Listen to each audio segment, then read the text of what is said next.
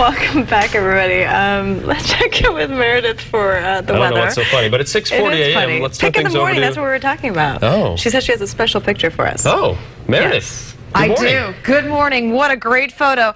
Brad Daniels in Santa Barbara sent these two photos for you, Sharon and Joe. So they're hibiscuses. They're my favorite flower, but a beautiful pick of the morning for both of you and for everyone to enjoy this morning. And let's now go down to Ventura, another beautiful city where we got this photo when it's not foggy. This is what Ventura actually looks like. So I got this one on Twitter. Of course, if you want to be pick of the morning, send your pictures in. I'd love to give you and your family a shout out on air, whether it's your business.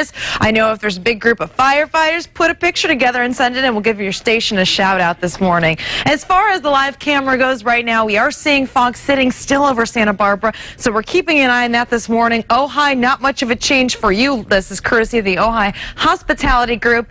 In the Santa Ynez Valley Airport, still pretty fogged in this morning. In fact, visibilities have actually dropped in some areas. Down to two in Goleta, Santa Maria doing much better, as well as part of the 101. This had lots of fog on it earlier. Now our main focus is Vandenberg Air Force Base, so good thing uh, there was no launch this morning because that fog could have played another role in, uh, in uh, slowing things down with that. But Goleta, you're down to two for visibility right now, and we are going to see this fog stick around for much of the morning. Now, once we get into the afternoon, later in the afternoon, the south coast will actually start to clear up, but we're still going to see that fog hugging the coast pretty good up and down the coast overnight into early tomorrow morning. It's July, but June gloom is sticking with us, and with that, it's also going to be coming pretty mild temperatures. So here's a look at your temperatures for the south coast today, mostly in the 70s. Winds will not really be a factor. In fact, we'll just be seeing that morning fog the next couple of days. But the 4th of July, just days away. Your forecast is looking great in Santa Barbara, 76 and mostly sunny for you.